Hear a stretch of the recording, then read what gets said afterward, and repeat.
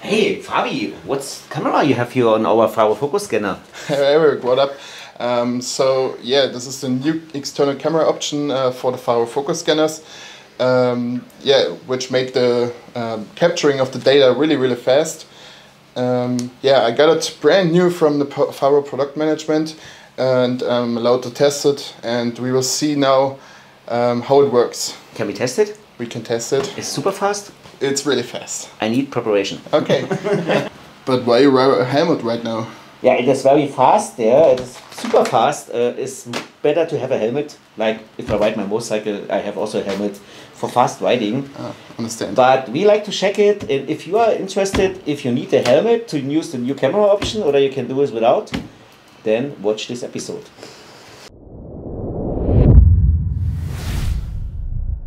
Yeah, guys, um, um, my colleague uh, Fabian, uh, I think spent yesterday some hour to test this.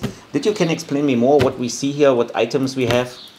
Yeah, right. Um, so we got a panoramic camera on top of the Faro focus scanner. Um, this panoramic camera is the Ricoh Theta Z1. It's um, yeah. It's a customer product. It's a customer product. You can get it everywhere in every online shop. Um, and um, yeah, it's connected over an accessory bay to the scanner directly, so it makes the capturing of the data automatically. The the scanner um, yeah sees the camera and can um, uh, yeah, you can choose trigger, them. Can trigger it. Yeah, can, can trigger, it. it. you can choose them from the menu. Right, right. Okay. You can choose between internal camera and panoramic camera. Then, um, yeah, it makes uh, capturing of the photos uh, much faster and um, yeah. Yeah, I, I, I, I, can explain you a little bit more what's the idea. Uh, the Faro guys told me this is a compromise between uh, speed and accuracy. Uh, for the people who know already the focus scanner, now we have these very nice internal camera. They're sitting here, like uh, on this side where we have the uh, the laser is on the same uh, optical center. You have the same optical center, which is the middle of the mirror, and this gives you very low parallax. This is the what technical is the lowest was possible, but you have a little bit the disadvantage that uh, you need uh, the um, first you scan and after that you need just the mirror running to different camera positions to get these uh, camera panorama picture. And that took a little bit time because you have to move the scanner. And for this one is now the additional option. This camera make one shot two seconds and you have one panorama image. And of course, now you would see also from the image the other part of the housing. And this is the recommendation from Faro that you can do twice pictures or four pictures and then you can calculate it out. But if you have only two seconds for one shot, you know, two seconds seconds to maybe one minute, one and a half minute right, camera, um, this is yes, much so faster. The actual uh, settings with an internal camera shot, um, yeah, would um, at least be uh, about three minutes uh, scan, um, scan and camera. Scan and camera, internal camera. And uh, with the panoramic camera, we can reduce it um, for about 1 minute and 20 seconds, uh, or two 1 minute and 20 seconds, and then he's ready to do a new scan. Okay. Did, so you, did you want to show this to the people? We can show this. Yeah. Um, I can start it.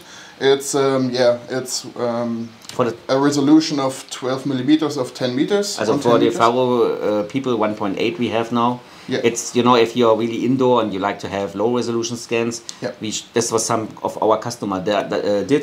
Mm. Uh, we choose these 1.8 and two, uh, two, two panoramic shots, and then we show it now live how it works. Right.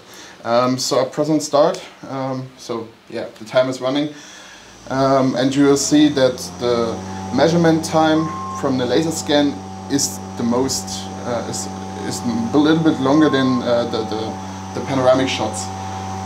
Before, with an internal camera shot, the camera, camera shot of this internal camera would be the longer time.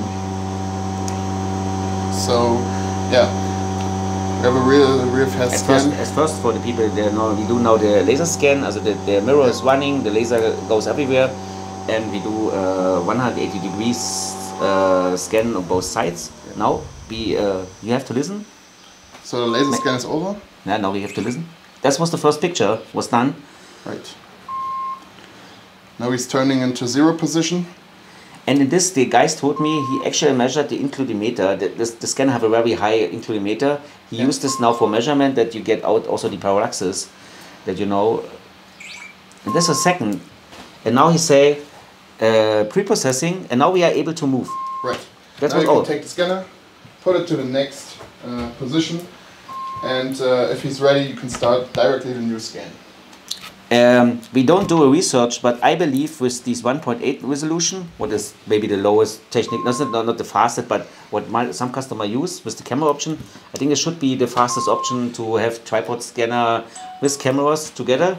If you like to compare to other products on the market, you have to maybe uh, choose to 1.4 or 1.5 resolution. And we, then we're thinking we don't do an excellent research because it's part of the limit. I think we are Yeah. definitely on the same speed, maybe a little bit faster, but we don't know it exactly because also the time where they captured the scans, uh, what is captured on your display is different from each scanner. This is not really comparable. But as I said in the beginning, it's really fast. Yeah, it is Uh, fast. it is really fast. Also, there's this option with you can do one point what we say 15, 1.30 uh, with the two cameras. Right. Uh, Uh, I think it's definitely super fast. Something over a minute.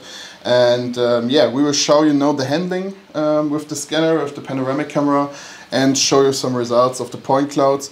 And yeah, have fun. I have I have one extra. You told us, but maybe they don't listen. You have already the option if you have it on the system, you can choose between the internal external camera. You can during your scanning set, you can choose. You can say I want to have quick photos. I want maybe have these more high quality photos. You have the, the total option. I think it's also something nice. Yeah. In total, before we started, I think it's definitely a cool tool for existing Faro users and, and people that are, will be new Faro users. I think it's definitely a nice uh, um, accessory for your scanner. Of course. All right. Have fun to watch.